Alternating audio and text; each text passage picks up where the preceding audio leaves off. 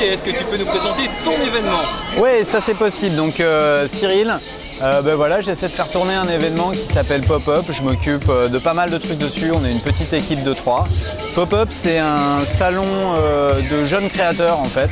Le principe, c'est euh, 237 jeunes créateurs, des stands vraiment pas chers. Une seule journée, un montage en deux heures, un démontage en 35 minutes. Et euh, bah, c'est pop-up, quoi, donc ça explose toute la journée. Euh, beaucoup de mode, de l'illustration, du design. Voilà, dans les grandes lignes.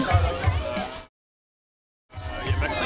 Tu es assis sur une scène, il se passe quoi sur cette scène? Ah ouais, techniquement c'est vrai, je suis assis sur une scène. Euh, bah ici, il y a eu quoi? Quelque chose comme 13 ou 14 défilés de mode, 3 concerts. Voilà, c'est le principe.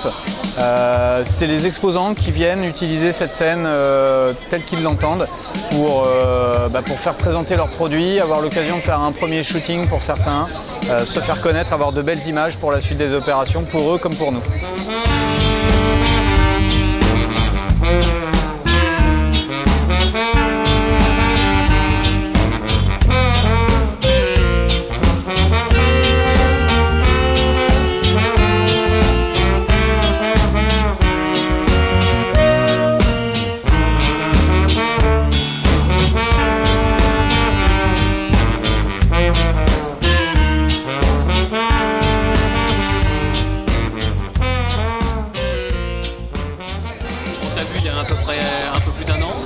C'est ça. pour le premier événement. Ouais. On a déjà parlé, t'étais tout fou Ouais. et tout et tout. T'es toujours tout fou. Ouais. Donc pop-up, un très bon lancement. Une troisième édition, t'en penses quoi? Parce que là on est en fin de journée. euh, Bah écoute, je suis en costard. non, euh, bah entre la première et la troisième édition, il s'est passé quoi? Euh, On a un peu augmenté le nombre d'exposants, mais pas beaucoup plus. On a construit une vraie scène. On a augmenté très sensiblement le nombre de visiteurs. On a fait 1300 visiteurs sur la première, on était pas loin de 2000 sur la deuxième. Et là, bah, je peux pas encore te sortir les chiffres, mais à mon avis, on sera aux alentours de 2500. Donc euh, c'est une progression, euh, c'est bien, là on est plein, euh, j'ai pas pu rentrer plus d'exposants, j'ai été obligé d'en refuser quelques-uns. Donc euh, la recette est bonne. On a maintenu des prix très bas, à la fois pour les visiteurs et pour les exposants, on distribue 7000 invitations. Ah, le principe low cost, ça marche pas que dans l'aviation, ça marche aussi dans, dans- dans le salon. Pop-up avant c'était un salon, maintenant c'est deux éditions dans l'année, c'est ça Ouais, Deux ouais. rendez-vous Deux rendez-vous, euh, printemps-automne. Donc euh, une édition, euh, on va dire, euh, fin novembre, et puis une autre courant mai. Donc prochaine édition le 12 mai 2012. On retient. Ouais.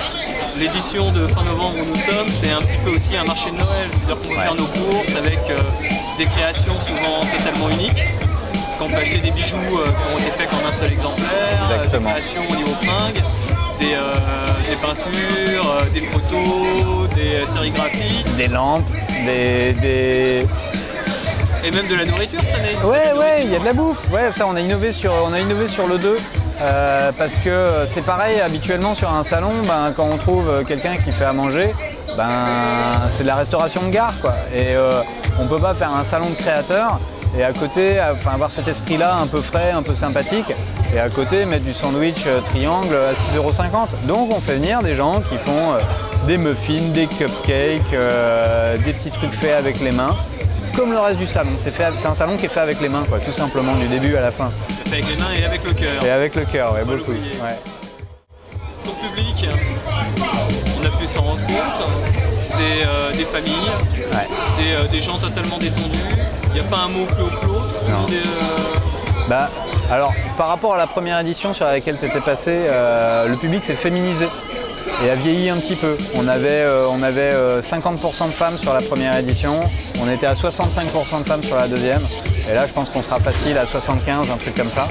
Euh, et de la même façon, on avait, on avait beaucoup de 15-25, beaucoup de jeunes, et là on a des gens qui sont un peu plus âgés, euh, du 25-35, et après bien entendu c'est ventilé, donc c'est vrai que euh, a une nouvelle typologie qui est arrivée sur Pop 2 par la petite porte et qui là est arrivée en force sur la troisième édition, c'est tout ce qui a trait à l'enfant.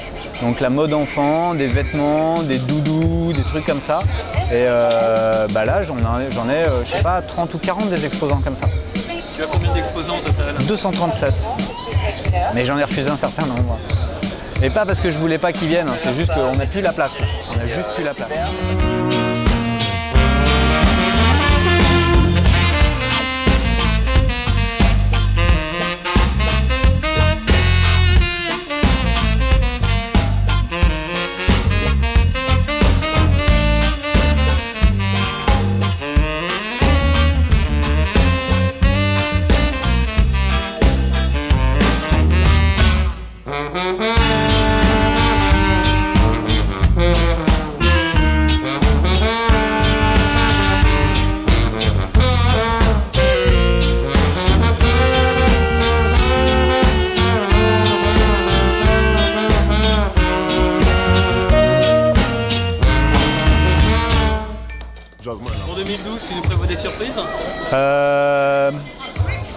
Ouais. Ouais. Euh... Alors, bon, déjà, on fait nos deux éditions parisiennes. Je suis en train de plancher comme un âne, mais j'avoue que j'ai un peu des difficultés à essayer de déployer euh, une version euh, de province. J'ai eu un retour super chaud pour, pour aller faire une édition lilloise. Donc voilà, la dernière fois que j'en parlais, je disais j'irai en province. Là, c'est je veux aller à Lille. Donc on est en train de parler avec des sites, ça se développe. Euh, la discussion est dans le bon sens, mais c'est compliqué à mettre en place, la distance. On a un modèle économique qui est quand même assez particulier, donc euh, les gens ont du mal à comprendre ce qu'on fait vraiment. Euh, donc expliquer à distance ce que c'est que pop-up, ce, ce côté bah, voilà, frais, explosif. Euh, voilà, même les gens de la sécurité, ils comprennent pas quand ils arrivent le matin et qu'il y a juste des chaises et, que euh, deux heures plus tard, bah, le salon il est monté. Non, j'ai la moitié de mes exposants, ils arrivent en métro. T'imagines un exposant qui arrive avec un sac à dos qui fait salut, je viens, monter mon salon quoi. Euh, donc voilà, on envisage de peut-être passer sur deux jours parce que ben, ici on est bien, mine de rien, la Cité des Sciences, c'est un site qui est super agréable. Et, et comme j'ai plus de place et que j'ai des exposants qui frappent, qui frappent à la porte, bah, l'idée c'est peut-être ouvrir une deuxième journée et de faire comme le Comiket au Japon et de changer tes exposants d'un jour sur l'autre. Voilà, c'est une option, hein, c'est pas une promesse. Alors, le 12 mai, on a beau avoir changé de président ou pas, c'est pas grave. Vous venez à la Cité des Sciences et euh, bah, ça sera comme ici, mais encore en mieux, quoi, comme d'hab.